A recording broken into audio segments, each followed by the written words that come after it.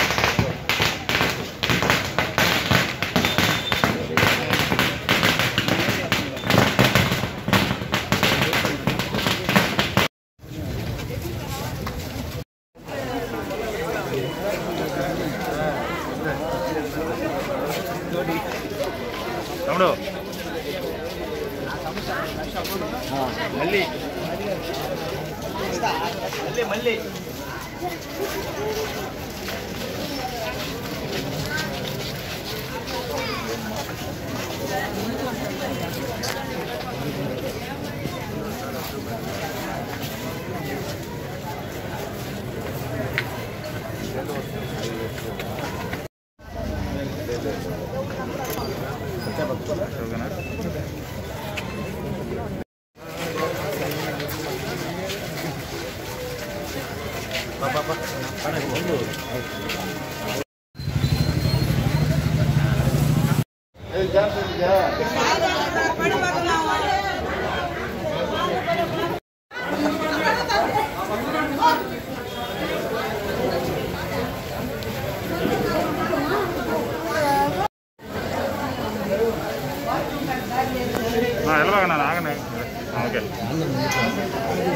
Ghiền Mì Gõ Để không bỏ lỡ những video hấp dẫn కదా.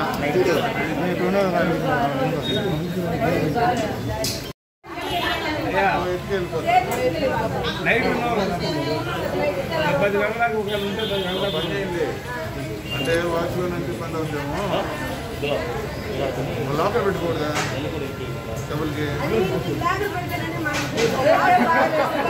అయ్యా ఏం దిగిరాడా అయ్యా మాకు రాకలు వద్దయ్యా. గేటు పెట్టిన సార్ మాకు బాగా ఆ గేటు బాగా పెట్టించండి గేటు అయ్యా వాళ్ళు వాళ్ళు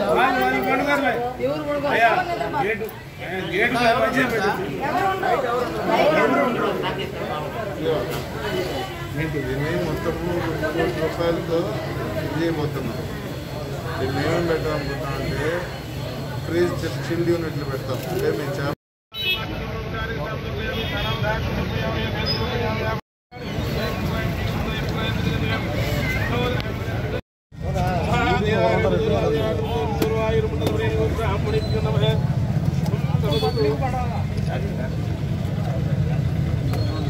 సంబంధించి సిటీ కార్పొరేషన్ సంబంధించి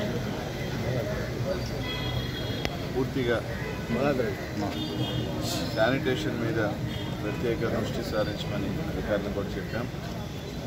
కమిషనర్ గారు వచ్చిన దాని మీద కూడా పూర్తిగా కూడా శానిటేషన్ ఎందుకంటే కార్పొరేషన్స్ లిమిట్స్ వచ్చేసరికి sanitation important. So house to house collection door to door కలెక్షన్ని hundred percent చేసే విధంగా వన్ మంత్ ఫ్రమ్ జనవరి పండగ టైం నుంచి హండ్రెడ్ పర్సెంట్ నెల్లూరు రూరల్ నియోజకవర్గంలో ఒక వార్డుని. డోర్ టు డోర్ సెగ్రిగేషన్ అంటే dry waste wet waste segregation అంటే ఒక చెత్తని ఇంట్లో వేసేటప్పుడు పొడి అలాగే తడి చెత్తని వేరు చేసి వేస్తే కలెక్షన్ చేసిన తర్వాత ఏదైతే దేని దేనికి ఆర్గానిక్ వేస్ట్గా ఉపయోగించేదానికి కావచ్చు డ్రై వేస్ట్ని రీసైక్లింగ్ చేసుకునేదానికి కావచ్చు ఈరోజు మనం శానిట చెత్తని తగ్గించుకునే ఎందుకంటే ఎన్జిటి రూల్స్ ప్రకారం కొత్తగా ఇచ్చే గైడ్లైన్స్ ప్రకారం ఇవన్నీ కూడా మనం చేసుకోలేకపోతే మనకి రానున్న బడ్జెట్లో ఫైన్స్ మనకున్న జనరల్ బడ్జెట్లో ఫైన్తో కాకుండా మన ఫిఫ్టీన్ ఫైనాన్స్ వచ్చే నిధులు కూడా కోత వచ్చే అవకాశాలు ఉన్నాయి కాబట్టి మన నెల్లూరు నగరాన్ని మన మన కార్పొరేషన్ని పరిశుభ్రంగా ఉంచుకునేదానికి కొన్ని గైడ్ లైన్స్ కూడా విధించారు. అందులో భాగంగా అధికార యంత్రాంగం ఎంత కృషి చేసినప్పటికీ కూడా ప్రజల సహకారం చాలా అవసరం దీంట్లో ప్రజల పార్టిసిపేషన్ ఎంత బాగుంటే అధికారులు కష్టపడేదానికి మీ యొక్క పార్టిసిపేషన్ బాగుంటే నెల్లూరు నగరాన్ని పరిశుభ్రంగా ఉంచుకోవచ్చు.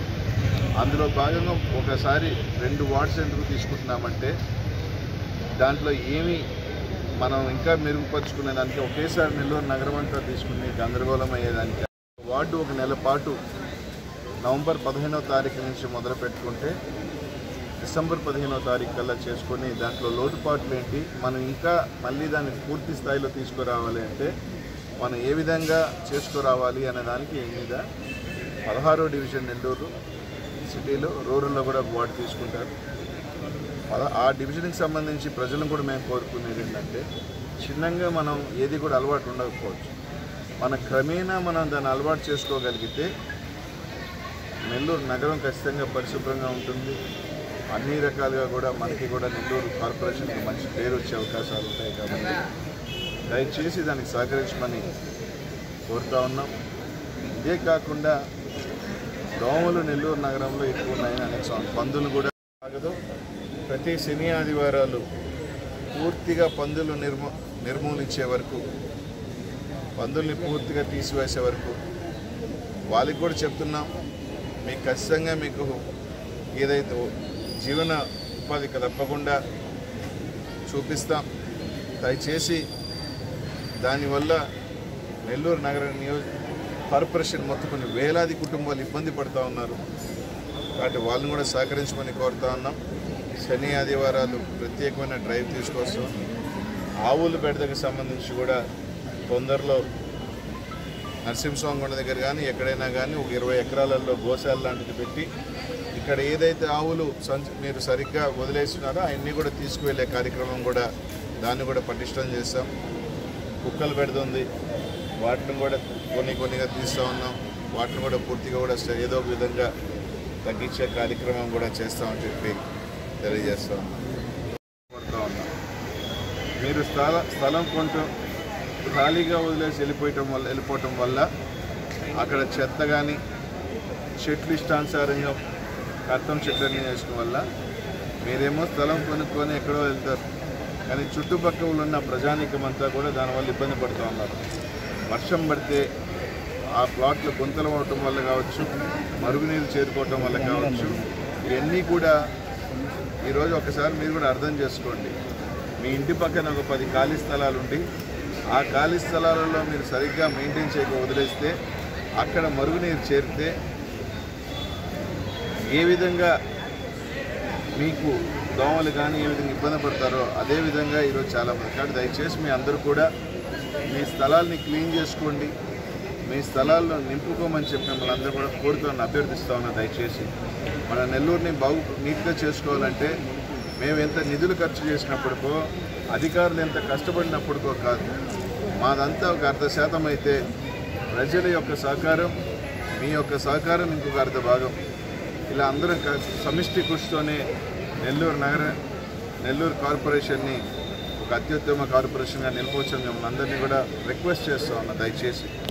ఏదన్నా కొంచెం యాక్షన్ కోపమో లేకపోతే మీ మీద ఏదో పగలో ఇట్లాగా ఆలోచించేది అధికారులు ముఖ్యంగా మనకి ఒక యంగ్ ఐఏఎస్ ఆఫీసరు ఈరోజు డిప్యూటీ ఈరోజు మన నెల్లూరు కార్పొరేషన్ తీసుకొచ్చుకున్నాం. తీసుకొచ్చిన తర్వాత ఆయన కొన్ని ఆలోచనలు ఉంటాయి నెల్లూరుని ఏ విధంగా కార్పొరేషన్ చేయాలనేది. ఇట్లాంటప్పుడు మీ యొక్క సహకారం ఇస్తే ఇంకా బాగా చేసి వెళ్తాడు. దయచేసి అందరినీ కూడా ఒకటే కోరుతా ఉన్నాం దయచేసి నెల్లూరు నగరం ఈ బాగు కోసం సహకరించండి అని చెప్పి మీ అందరినీ కూడా నెల్లూరు ప్రజలందరినీ కూడా కోరుతా ఉన్నా. రానున్న మూడు నాలుగు సంవత్సరాలలో తప్పకుండా నెల్లూరు నగర కార్పొరేషన్ ఎప్పుడూ లేని విధంగా పరిశుభ్రంగా అన్ని రకాల ఇబ్బందులు లేకుండా ఉండేదానికి తప్పకుండా మీ యొక్క సహకారం ఎంత అవసరమని జగన్మోహన్ రెడ్డి గారు ఇప్పటికే అనేక మంచి కార్యక్రమాలు తీసుకువస్తూ ఉన్నారు. ప్రజల సంక్షేమం గురించి ఈరోజు స్కూల్స్ చూస్తూ ఉన్నాం గవర్నమెంట్ స్కూల్స్ అన్నీ కూడా ఏ విధంగా తీర్చిదిద్దుతున్నారో ఒక్కసారి చూడండి. గతంలో ఈ స్కూల్ ఎలా ఉండింది? ఈరోజు ఈ స్కూల్ ఎలా ఉంది? ఎంత తేడా ఉందో. సో ఈ విధంగా స్కూల్స్ అన్ని అప్గ్రేడ్ చేసుకుంటూ వస్తూ ఉన్నాం. అన్నీ కూడా ముందు చిన్నగా తీసుకొస్తాం. సో మీ సహకారం చాలా అవసరం అని చెప్పారు పాదయాత్ర చేసి మూడు సంవత్సరాలు అవుతూ ఉంది.